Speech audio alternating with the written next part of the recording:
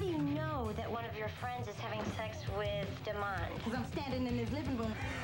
This Thanksgiving, Hey, Linda Blair, spin your head around one more time. Now I'm going to give you exorcism. join Starletta and friends Save it for the show, okay? for the ultimate holiday film. Did you see the two of them having sex? Everybody was Oh, kung fu Jerry Springer in Ringmaster. We ain't gonna be ghetto. We gonna be real glad. Rated R. Starts November 25th.